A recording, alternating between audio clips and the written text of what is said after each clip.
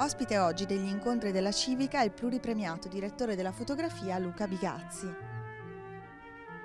Arriva al cinema nell'83 con Soldini, da lì non si ferma più e da oltre 30 anni è il più importante direttore della fotografia del panorama italiano ed internazionale.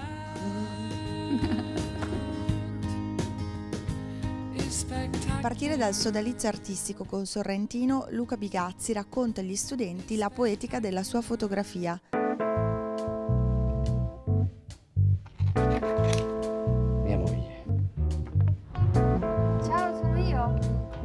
Come sono stati i tuoi esordi con eh, Soldini? È stato un inizio molto avventuroso, nel senso che io e Silvio eravamo Soldini, eravamo al liceo insieme e avevamo tutti e due una passione smodata per il cinema.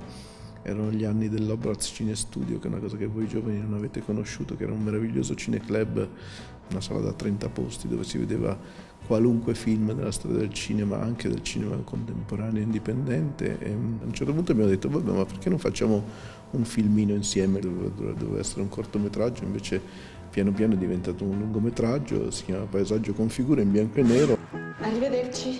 La vita diventa in mancanza di fantasia uno spettacolo mortale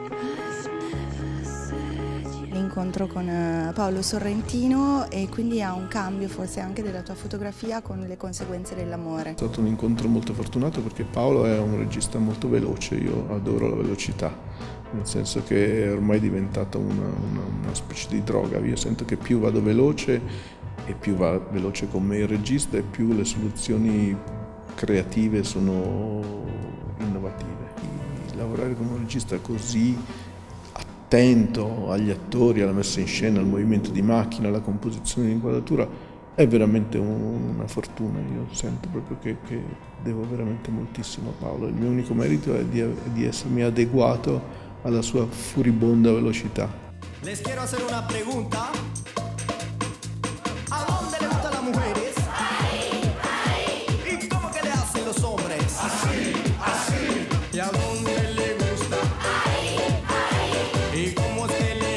Paolo ti pone di fronte a delle, a delle, difficoltà apparentemente insuperabili, nel senso che certo la festa della grande bellezza iniziale è un esempio tipico, cioè la macchina va a 360 gradi su un terrazzo all'ottavo piano, quindi le luci eh, non ci devono essere o se ci devono essere e se ci sono, sono delle luci che sono in qualche modo integrate nella scena eh, o comunque sono sospese in maniera piuttosto rocambolesca. Un'altra scena di questo tipo è il, le scene in esterno notte nel giardino di Youth, per esempio. C'è una pedana rotante e quindi la macchina si muove a 360 gradi perché è sulla pedana insieme ai cantanti e quindi inquadra tutto il set e quindi nessuno spazio è possibile per delle luci o per delle gru. Quindi integrare nella scena le luci che servono a illuminare gli attori è la scelta, è la sfida più, più complessa. Mm, il realismo è semplicemente rispetto della realtà per me, però la realtà è molto più varia di quello che possiamo immaginare, cioè la, le sorprese che, che, possiamo ricevere dall'illuminazione naturale, la meravigliosa luce dei tramonti, ma anche la meravigliosa luce a picco a volte eh, dell'estate quando è insopportabilmente alto il sole e fa caldo. Ecco, queste, in queste infinite variazioni della luce naturale e nelle infinite variazioni della luce artificiale, noi assistiamo negli ultimi anni a una, a una rivoluzione nei, nelle fonti anche di illuminazione, non sono più lampadine, sono tubi a LED, neon, LED, di tutto. Allora, nella, nella, nella, nella varietà e nel rispetto di questa moltitudine di fonti di illuminazione ci sono delle possibilità creative che una volta non erano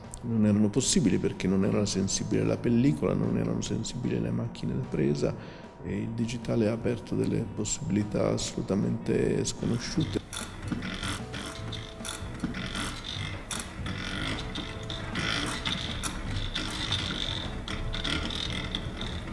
Quando facciamo le luci siamo dipendenti innanzitutto dal rapporto con lo scenografo. Lo scenografo sceglie degli ambienti con dei muri che hanno dei colori o non hanno dei colori e mette delle luci in scena che spesso sono le luci che noi utilizziamo come fonte principale di luce o che comunque orientano la direzione della luce. Un abajur non si può prescindere da dove è un abajur, da che tipo di abajur è presente nella scena in un'interno notte. E penso che l'80% delle scelte fotografiche vengano dalla posizione di macchina più che dalla luce in sé.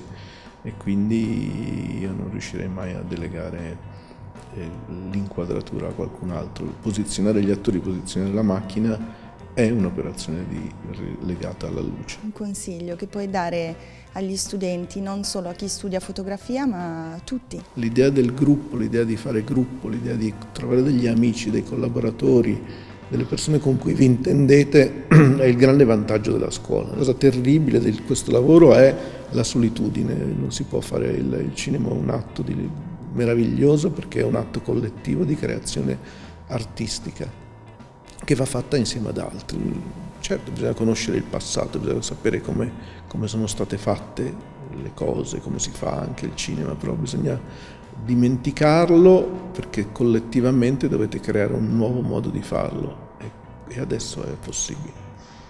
Io non volevo solo partecipare alle feste,